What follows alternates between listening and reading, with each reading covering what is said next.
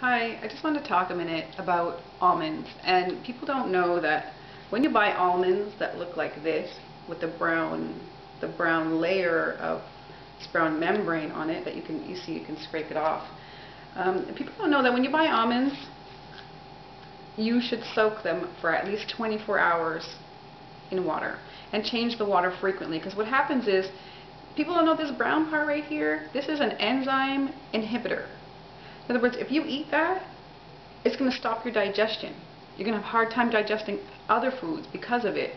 And the main purpose is because when the seed falls, gets into the ground, tries to nestle down and turn itself into a plant, well, the brown part is stopping the outside from, from eating up the seed and killing it and digesting it and turning it back into soil. It's holding it so it has time to, you know, like grow a little shoot and turn into a big giant almond tree. So if you eat almonds before a meal or after a meal, you won't be able to digest your food. And if you eat too many, you might even actually like, get constipated and get stomach pains and it's really not that great of a thing. So what I do is I take my almonds and I soak them overnight.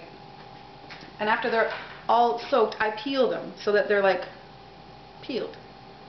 Then what I do is I have um, I have a food dehydrator. It's an Excalibur model. And I lay it on the tray overnight also. I, I only keep it at 115 degrees because if you put it over 115 degrees, you're going to kill that seed.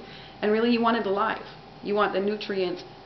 You know, this little thing is like a powerhouse of vitamins and minerals. you got to think about that. It has everything in it to create whole gigantic almond tree with all of its fruit. And if you think it's not going to be crispy, it's still still really crunchy. And actually it tastes way more like an almond than before you soak it. Almonds have like a cherry flavor and you won't notice it unless you soak them. So now I'm going to say it. Soak your nuts, guys. Or girls. Bye.